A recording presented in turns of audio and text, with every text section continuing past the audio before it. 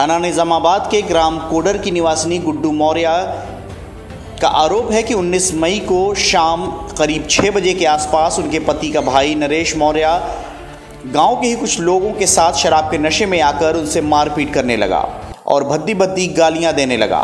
मौका देखकर पीड़िता ने 112 नंबर पर फ़ोन कर दिया।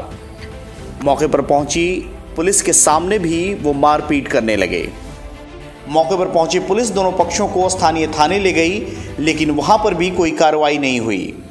पीड़िता का आरोप है कि ना तो कोई तहरीर ली गई और ना ही कोई डॉक्टरी मुआयना कराया गया। जिसके बाद पीड़िता गुड्डी मौर्य ने पुलिस अधीक्षक को ज्ञापन सौंपकर दोषियों के विरुद्ध कार्रवाई की मांग की है।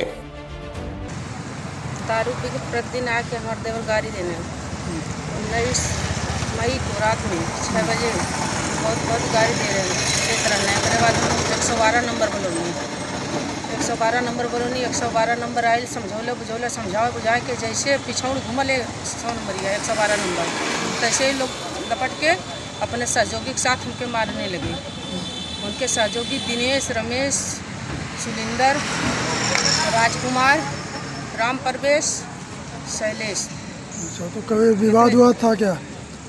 प्रतिदिन गाड़ी देते हैं अच्छा। दारू पी के। अच्छा वहाँ थाने पे गई थी आप?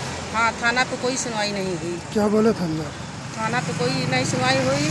थाना पे हम लोग को उठा कर बंद कर दिए। हम्म, फिर एक सौ इक्यावन में चालान काट दिए। अच्छा। तो क्या चाहते हैं आप? न्याय। सीआईबी इंडिया न्यूज़ की सभी खबरों को देखने के लिए लाल रंग की बटन को दबाकर चैनल को सब्सक्राइब ज़रूर करें।